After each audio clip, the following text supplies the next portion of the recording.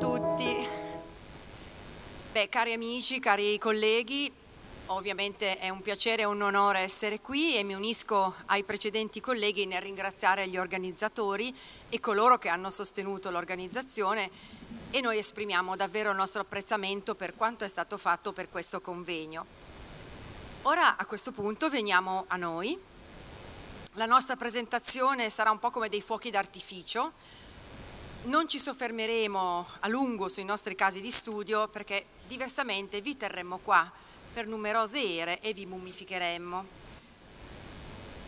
Vi raccontiamo in prima battuta che cos'è il Mammi Project, che nasce ufficialmente nel 2008 e che si occupa con rigore e professionalità dello studio di collezioni egizie presenti sul nostro territorio. È un centro ricerche, ma sviluppa anche progetti di studio e valorizzazione delle collezioni egizie siamo il primo team multidisciplinare creato esclusivamente per questi scopi in Italia, ma abbiamo collaborazioni internazionali.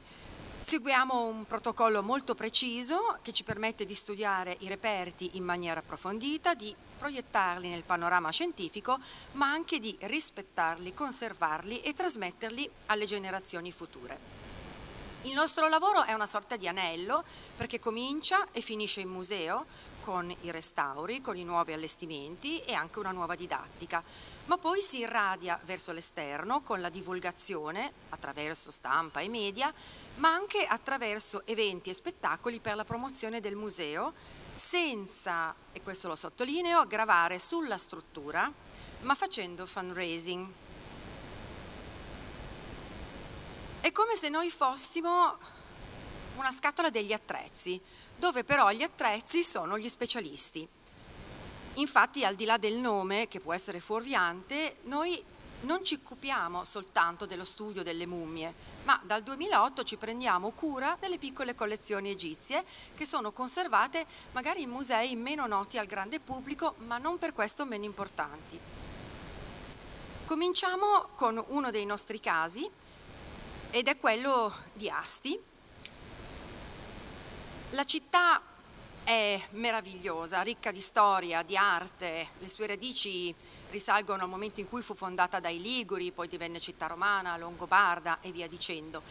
È ricca di palazzi rinascimentali, medievali, ma è anche famosa per eh, il Paglio che ha origini antichissime, risale al 1095 la prima attestazione, quindi se la gioca un po' con Siena. Ma in questa città c'è un museo archeologico che si trova all'interno di un bellissimo complesso che si chiama San Pietro in Consavia, è un monastero del XII secolo. Qui c'è una collezione egizia conservata all'interno di questo museo che è la seconda eh, per numero del Piemonte. È una di quelle collezioni ottocentesche eh, raccolta da una famiglia, la famiglia Ottolenghi, che poi la dona al nascente museo che, che apre le porte nel 1903. Abbiamo iniziato studiando la mummia e il sarcofago per poi arrivare alla valorizzazione del museo, che oggi è chiuso per un nuovo allestimento. Abbiamo messo a punto un rigoroso protocollo, noi partiamo dalle analisi radiologiche, quindi dalla TAC, effettuiamo campionamenti, analisi chimiche e fisiche e arriviamo fino alla ricostruzione del volto ma in questo caso siamo stati particolarmente fortunati perché abbiamo potuto effettuare una endoscopia completa, la prima in Italia, e ogni momento del nostro lavoro è stato documentato, ma anche seguito attraverso conferenze stampa e divulgazioni sui media, quindi dai telegiornali siamo arrivati fino alle trasmissioni satiriche. La ricostruzione del volto ha restituito eh, l'immagine alla mummia, al tempo abbiamo scelto di non farla digitale ma di farla a scultura. Mentre stavamo eh, studiando la mummia, il Museo di Asti è stato valorizzato all'interno di una mostra internazionale dedicata alla medicina nell'antico Egitto, che ha visto la partecipazione di musei come il Metropolitan di New York, i Musei Vaticani, il Museo Egizio di Torino, il Museo di Vienna, Firenze, ma a fianco di questi grandi musei eh, c'era anche una rosa di musei con piccole collezioni egizie, dal Museo del Territorio Bellese a quello di Domodossola, di Susa e di Vercelli. In questo modo, essendo presenti all'interno della mostra, si sono fatti conoscere e speriamo abbiano potuto avere nuovi visitatori. Tutte le fasi del progetto di indagine eh, sono state, come dicevamo, documentate fotograficamente e con video, ma soprattutto è stato girato un documentario con Piero Angela e che è andato in onda nel settembre del 2011 e questo forse per il museo è stato uno dei momenti di maggiore divulgazione e anche se posso, mi posso permettere di scoperta del museo stesso a livello nazionale. Lo studio della mummia è confluito in numerose pubblicazioni scientifiche, noi partecipiamo costantemente a convegni, in particolare quelli ovviamente legati alle mummie come il Mummy Congress che si è tenuto a Bolzano a settembre, ma ci siamo anche interessati che oltre alle pubblicazioni scientifiche ci fossero pubblicazioni divulgative. Ed è stato scritto, con molta fatica, un romanzo che racconta proprio la storia di questa mummia e dell'equipe che l'ha studiata e anche questo è stato un momento di valorizzazione e di divulgazione. Eh, pensate che sono state fatte circa, nell'arco di tre anni, circa 50 conferenze legate a questa mummia,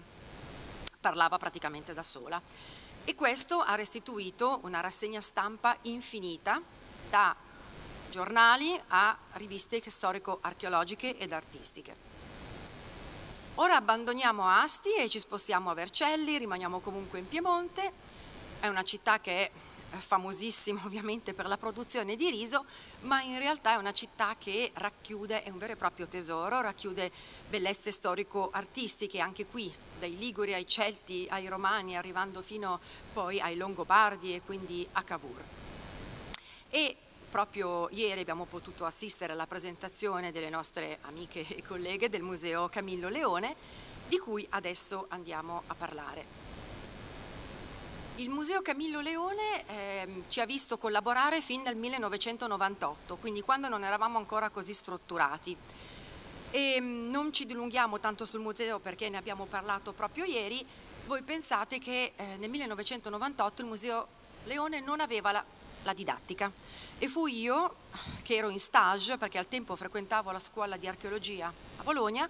ad aprire i primi laboratori didattici. Poveri bambini. E dunque il museo conserva collezioni eterogenee, lo avete visto, sono disposte in ordine cronologico dalla preistoria al risorgimento e quindi ogni sala è dedicata ai vari periodi storici. È interessante che l'allestimento è tutelato come esempio di museografia e museologia, così come lo sono tutte le sue collezioni. La vetrina della collezione egizia è piccola ma molto ricca e si trova all'interno della sala dedicata alle ceramiche magno-greche e al bucchero etrusco. Eccola qua la vetrina che cosa abbiamo fatto? Abbiamo studiato la collezione egizia, abbiamo proposto un piccolo riallestimento, ma conforme a quello tutelato, e, abbiamo, e l'abbiamo valorizzata, seguendo quello che è diventato appunto il nostro protocollo, quindi conferenze stampa, divulgazione sui media. Ma eh, ci siamo anche preoccupati di pubblicare questa collezione. Nel 2011 abbiamo affrontato un bando della Regione Piemonte che eh, ha vinto e ha ottenuto i fondi e quindi è stato scritto il catalogo che è stato presentato in un bellissimo salone, il Salone Dugentesco e poi successivamente in altre città. È stato creato per questa occasione un vero e proprio evento spettacolo dove io ho avuto il piacere di alternare la mia voce e le immagini della collezione egizia al primo violino del Teatro Verdi di Milano e quindi mentre lui suonava Sherazade di Korkakov o il flauto magico di Mozart, io intervenivo raccontando la collezione egizia. Purtroppo non ho trovato molte foto di quell'evento. La copertina del catalogo è particolare perché è realizzata con l'elenco dei reperti steso da Ernesto Schiaparelli, che allora era poi direttore del Museo Egizio di Torino. Abbiamo organizzato tutta una serie di eventi culturali per far conoscere meglio il museo, siamo nel 2010 e mm, questo è successo prima del catalogo e abbiamo visto la partecipazione numerosa della cittadinanza, ma non solo, vi erano moltissime persone che venivano anche da fuori. Abbiamo fatto conferenze, proiezioni di documentari, laboratori didattici, abbiamo visto la partecipazione di numerosi studiosi che abbiamo coinvolto, da Maria Cristina Guidotti, ex direttore del Museo Egizio di Firenze, a Francesco Tiradritti, noto egittologo e direttore dello scavo della tomba di Arua. Poniamo particolare attenzione ai laboratori didattici, ci rivolgiamo a tutti i target di pubblico, nessuno escluso. e in tali eventi ci siamo anche preoccupati di arricchire il bookshop del museo in maniera tale che le persone potessero acquistare libri e cataloghi più o meno approfonditi.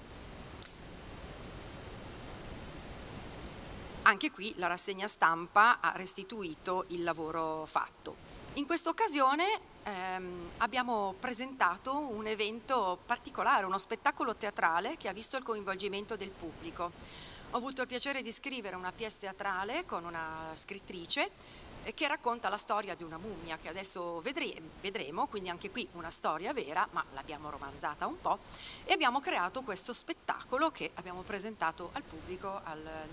Museo Camillo Leone nel 2016 direi. Ora ci spostiamo un po' più a nord, andiamo a Merano. Non credo che la città abbia bisogno di grosse presentazioni, acque termali meravigliose, città prediletta da Sissi, ovviamente i mercatini di Natale, perché no? Ma a Merano c'è eh, da pochi anni, dopo anni di lavoro, ben dieci, è stato inaugurato, aperto al pubblico nel 2014, il nuovo museo al Palais Mammin. Qui troviamo delle collezioni miscellanee, andiamo da oggetti antichi ad abiti in uso alle popolazioni locali, collezioni di monete, minerali, fossili. Insomma una sorta di viaggio nella storia che però fa tappa anche in Egitto. Ed ecco che da queste collezioni vi sono un sarcofago e una mummia. All'inizio non erano esposti, noi li abbiamo trovati conservati nei magazzini e ce ne siamo presi cura seguendo il nostro protocollo. Quindi abbiamo fatto analisi radiologiche, i campionamenti, le analisi chimiche, fisiche, la ricostruzione del volto. Perché? Perché volevamo comprendere meglio questi reperti, poterne raccontare la storia. Quando, facciamo, quando siamo al lavoro noi non interferiamo mai con le attività ospedaliere, anche se le battute fioccano, come ha fatto riferimento anche Susanna Moser, ma noi abbiamo il piacere di lavorare di notte o, o di sabato, quindi non graviamo sulla struttura ospedaliera ma neanche sulla struttura museale, come ci siamo detti. A questo punto vediamo la ricostruzione del volto, perché così si è concluso il nostro studio di questa donna vissuta in epoca tolemaica. E poi eh, abbiamo, abbiamo, partecipato al nuovo allestimento una, realizzando una grande vetrina affiancata in questo caso da un documentario molto breve di sette minuti da noi realizzato che racconta la storia di questi reperti e le ricerche effettuate. Non poteva mancare il catalogo presentato nel 2016 con eh, ovviamente lo studio dei reperti egizi è stato presentato con una conferenza stampa in museo, con una conferenza stampa e una conferenza in museo, ovviamente tutto rigorosamente bilingue. Adesso però veniamo a tempi più recenti e passo la parola alla dottoressa Motta. Sì, buongiorno a tutti, mi sentite? Funziona? Bene. Allora, sì, grazie. No, no, lascialo pure così, sì, sì. Allora, io vi parlerò dei nuovi progetti che praticamente coincidono con il mio approdo al Mammy Project, appunto attorno al 2014 ho avuto il piacere di conoscere la dottoressa Malgora e poi appunto piacere e poi appunto di collaborare con lei come antropologo eh, fisico, appunto affiancando l'antropologo forense che già faceva parte del, del nostro gruppo. Eh, voglio iniziare con un progetto di cui avete già avuto l'onore di sentire una bellissima presentazione da parte de, della curatrice del museo stesso, la dottoressa Magrassi Mastricardi. E, appunto iniziamo quindi con il Museo archeologico dell'Università di Pavia. Eh, Pavia è un'università che vanta menzione antica, eh, lo sappiamo appunto essere risalente già al XIV secolo e al suo interno vanta anche la presenza di un museo archeologico già introdotto magistralmente eh, ieri dalla dottoressa e oggi curato dal professor Maurizio Arari. Eh, appunto professore di eh, etruscologia e antichità italiche alla stessa università. Ehm, il museo ospita varie collezioni, tra esse ovviamente c'è anche una collezione egizia.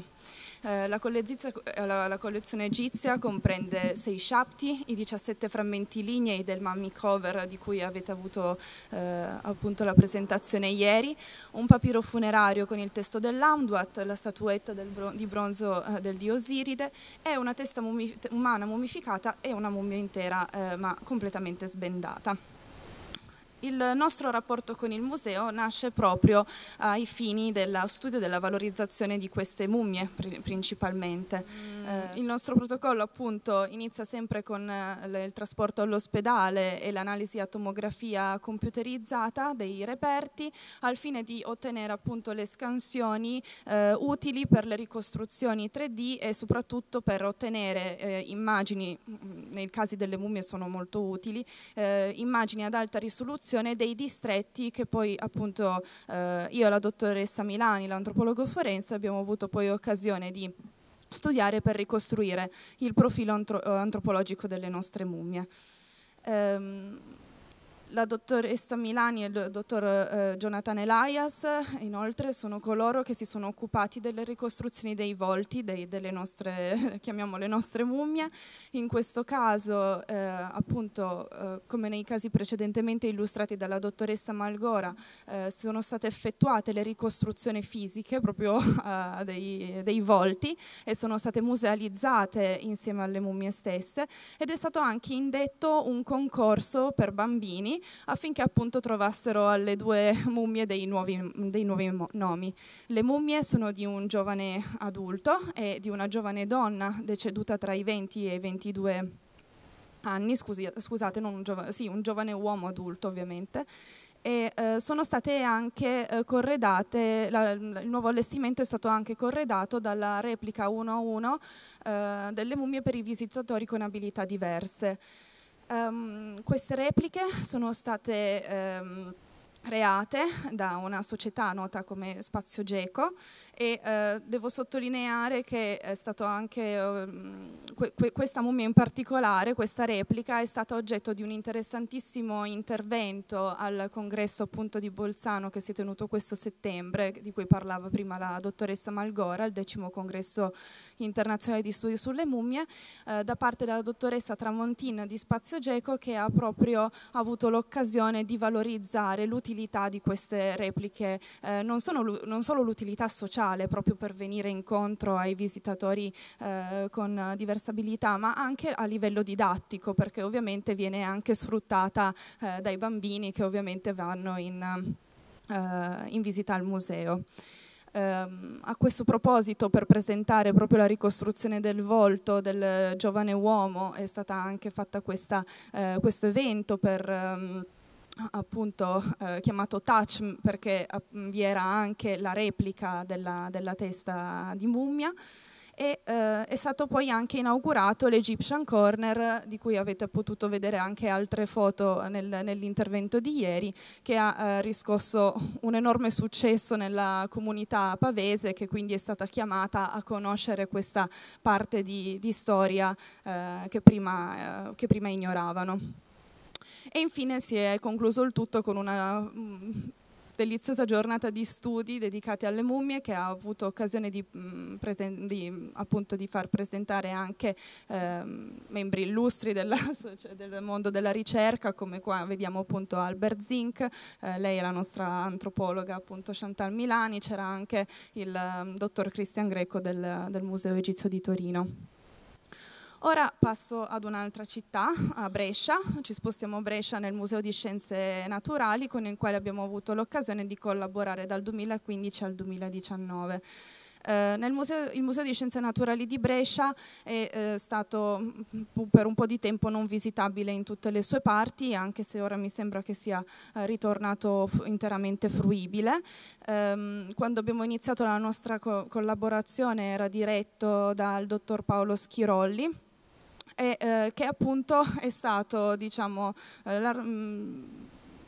durante una sua opera di catalogazione eh, dei, dei, reperti eh, all'interno dei magazzini si è trovato di fronte ad una scoperta molto interessante ma anche fortuita. Eh, infatti si è trovato delle scatole mh, mm, chiuse di cui non aveva memoria, all'interno eh, del quale vi erano dei reperti attinenti ad una collezione egizia. Mm, una, anche una collezione abbastanza cospicua perché vi erano 23 mummie di animali, tre teste di mummie umane e anche alcuni frammenti eh, di mummia, quindi mani, piedi, sempre, sempre appunto eh, umani. E, um, Ovviamente è stata una, una, grande scoperta perché erano, questi reperti erano finiti completamente dimenticati all'interno dei depositi, come purtroppo spesso succede alle, alle nostre povere antichità. E, um, appunto quindi, siamo quindi entrati in, in gioco noi, all'inizio eh, grazie a questa, a questa mostra eh, focalizzata appunto sul rapporto tra l'antico Egitto e l'arte contemporanea, in particolare nella figura del grande mm, artista piemontese Colombotto Rosso, eh, sono stati appunto presentati alcuni di questi eh, reperti eh, bresciani, ma lo studio poi è iniziato un po' dopo, appunto dal 2016, quando ehm, in vista della loro prossima esposizione ehm, li abbiamo sottoposti al nostro solito eh, protocollo protocollo eh, finalizzato alla ricostruzione del profilo antropologico per le mummie umane, ma anche zoologico per le mummie animali. Eh, quello che ne è conseguito è stato quindi un riallestimento, più che un riallestimento, un allestimento ex novo della sezione egizia all'interno del Museo di Scienze Naturali di Brescia. Eh, il modello era proprio quello della, della Wunderkammer, una camera delle meraviglie come quella che abbiamo avuto occasione di sentire ieri con la presentazione su August Kessner. E, ehm, e quindi appunto abbiamo proprio allestito questa piccola sezione corredata eh, di eh, anche materiale multimediale, ovviamente anche in questo caso abbiamo fatto le repliche dei, dei, dei reperti eh, grazie a Spazio Geco e la ricostruzione del volto della testa di mummia maschile, mh, sempre appunto mh, la, i risultati anche delle analisi scientifiche sono confluite in un catalogo, a breve invece ci sarà, spero breve perché poi con le pubblicazioni scientifiche non si sa mai quanto breve sia, ci sarà anche poi una pubblicazione proprio di stampo prettamente scientifico perché ho avuto l'occasione di occuparmi di studiare più nello specifico le teste di mummie umane mh, mm, per la discussione della mia tesi del master in antropologia forense che ho ehm, conseguito anche grazie alla, alla relatrice del, eh, alla mia relatrice che è stata proprio la dottoressa Chantal Milani. E adesso ci, ci spostiamo io di, nuovo, mm, di nuovo in un'altra città e vi parlo del, brevemente degli ultimi due casi seguiti dal Mammy Project che sono ancora dei work in progress. Innanzitutto eh, Bergamo, il Civico Museo Archeologico, un progetto che è iniziato appunto l'anno scorso e, sta, eh, e, si deve ovviamente ancora concludere. Eh, all'interno delle piazze della, della, cittadella vi è questo bellissimo contenitore che è il Museo appunto Archeologico Bergamasco, ora chiuso perché in, mm, in fase di totale riallestimento e ehm, ristrutturazione e vanta anche eh, in questo caso una piccola ma preziosa collezione egizia composta dalla, da una mummia, da un sarcofago datato alla ventiduesima dinastia, si tratta di un yellow coffin, frammenti di, di mummia, quindi una mano e un piede, eh, vari amuleti, delle, mm, delle statuette, dei bronzetti e degli sciapti. E ovviamente mh, la mummia è stata diciamo, la regina indiscussa della nostra, uh, de, della nostra collaborazione con, uh, con il museo. E, mh, la, la, mummia appunto è stata sottoposta al nostro solito protocollo, ma eh, abbiamo avuto occasione di portarla eh, al decimo congresso di cui vi parlavo, eh, di cui vi parlavo poc'anzi, portandola quindi all'attenzione internazionale, cosa che favorirà molto il museo perché eh, è stato bello vedere come anche studiosi di fama internazionale si siano comunque interessati a questa realtà museale così piccola perché alla fine, alla fine ehm, um risulta anche eh, abbastanza ignorata soprattutto dalla, dalla, comunità, dalla comunità, locale. Eh, tuttavia appunto abbiamo avuto occasione di svolgere come al solito il nostro protocollo che ci ha permesso appunto di scoprire che il eh, defunto era un uomo adulto tra i 40 e i 45 anni, anche di altezza notevole per, per l'epoca perché era alto almeno 1,77 m con un margine di errore di 3 cm, eh, più, quindi più o meno 3 cm e eh, è stato poi anche eh, ricostruito il volto. Eh, qua vi ho messo una foto della nostra collaboratrice eh, che appunto si è occupata di presentare il volto al, al convegno che però ora deve ancora rimanere un, un segreto in vista nuova, del nuovo allestimento eh, sempre appunto conferenze stampa, divulgazione, perché come ha sottolineato la dottoressa Malgora è sempre molto importante rendere la comunità partecipe anche attraverso l'utilizzo dei media locali, ma in questo caso anche non locali perché siamo finiti anche su, eh, su tv eh, internazionale, ma soprattutto una un progetto molto interessante è stato il restauro a vista della, della mummia. Qua potete vedere le nostre due eh, collaboratrici, la dottoressa Cinzia Oliva, eh, ben nota soprattutto ai Vaticani, e eh, la dottoressa Elena Rossi, che è, una, che è un nostro membro del, appunto un membro del Mammi Project, alle prese con il restauro della mummia, mentre appunto da una finestra i visitatori avevano occasione di vederle al lavoro. Inoltre è stato fatto anche un eh, evento molto, eh, molto bello, io che ho potuto esserci dentro l'ho vissuta con molta passione perché abbiamo potuto incontrare appunto la comunità bergamasca, spiegare loro che cosa stavamo facendo e poi loro dopo aver chiacchierato con me la dottoressa Malgora avevano l'occasione di andare a parlare con la dottoressa Oliva mentre era lì che lavorava alla mummia e mm, a me queste, mm, questo genere di, di, eventi emozionano sempre molto perché vedere l'emozione delle, delle, persone alla scoperta di una realtà che prima non conoscevano eh, mi fa capire che è quello per cui tutti lavoriamo, che alla, alla fine è proprio la, ehm, la, la, quello che muove le nostre ricerche, penso e quindi appunto ora non ci resta che eh, vedere eh, come andrà il, mm, il, nuovo, il, nuovo, allestimento. Finisco eh, presentandovi brevemente il nostro ultimissimo progetto con il Museo Archeologico di Erba, eh, un museo sito in Villa Ceriani eh, copre un vasto arco cronologico e vanta anch'esso una eh, piccola mh, mm, collezione egizia, eh, piccola ma in realtà con manufatti veramente deliziosi come per esempio appunto il cestino, eh, il, abbiamo appunto lo scarabeo con la testa di sfinge, il manico di specchio, figura antropomorfa, ma soprattutto tre mummie, anzi tre frammenti di mummia, una mano, una ehm, un, un piede è una testa, ovviamente umani, eh, che sono stati eh, analizzati eh, precedentemente. Io qua vi ho messo ovviamente i crediti degli studiosi che si sono occupati dell'analisi più di stampo antropologico e anche egittologico perché hanno eh, anche provato una datazione attraverso i metodi di, di imbalsamazione, appunto le, le, le, i materiali utilizzati eh, però appunto c'è sempre da fare, nonostante appunto il, gli studi siano recenti perché le indagini risalgono al 2018, eh, abbiamo potuto iniziare questa nuova collaborazione in vista di, eh, avendo come obiettivi la valorizzazione del museo, quindi creare nuove opportunità di fruizione al pubblico, come proponendo un nuovo allestimento innanzitutto, eh, ma soprattutto procedendo al restauro di questi resti che come avete potuto vedere dalle foto precedenti vertono in condizioni un po' eh, disastrose e di conseguenza appunto mm, speriamo il progetto ha avuto inizio questo, mm, questo ottobre, eh, proprio questo, il primo weekend di ottobre, abbiamo avuto occasione di fare prima una conferenza con le autorità spiegando le nostre intenzioni e poi presentandoci al pubblico con un laboratorio ludico didattico che ha attirato tantissimi bambini, avevamo tipo 200 persone da tenere a bada, è stato veramente molto... Ehm,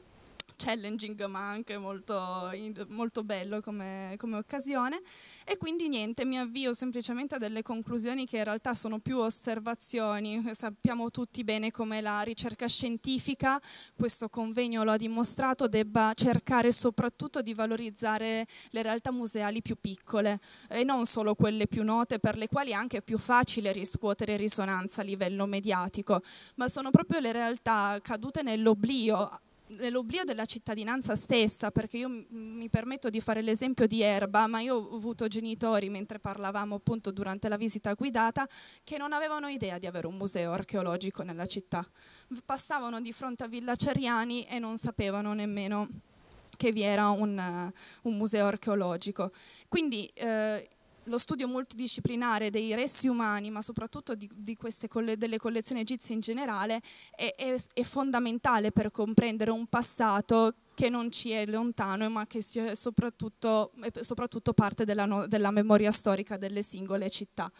E ci tengo a ringraziare anche da parte della dottoressa Malgora i nostri membri del Mami Project, tutti i musei con cui abbiamo collaborato, quindi ringrazio anche la dottoressa Magrassi visto che è l'unica qui presente in sala con cui abbiamo avuto il piacere di lavorare